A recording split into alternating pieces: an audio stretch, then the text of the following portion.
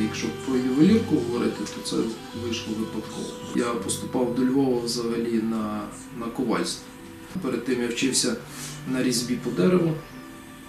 Це у другому училищі нашому. І так хотів поєднати і дерево, і метал. Вже 4 роки, що я тут працюю. А так до того, що 6 років у Львові. Ну, під час навчання працювали.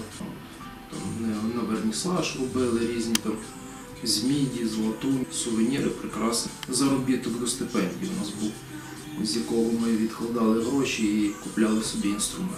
А це взагалі прибуткова праця? Кожна справа прибуткова, але треба вкладати туди час, е, фінанси. Ну, все, треба просто нею жити. Що так з того боку такого підходити суто якогось меркантильного і з точки зору, що це золото, це гроші, там діаманти, там всі ювеліри багаті і там заможні, не знаю, там купаються в тому золоті.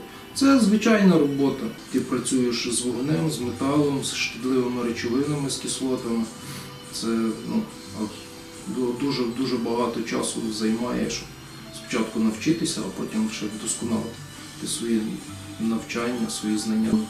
Кожен, кожен раз треба щось виходить нове, якісь виходять нові техніки, з'являються, новий інструмент. Ти завжди маєш бути в струї.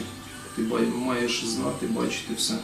Кожного року проводяться конкурси два рази на рік е, в Києві. Можна подавати свої ескізи, можна подавати свої роботи, і там вже журі вибирає, який краще.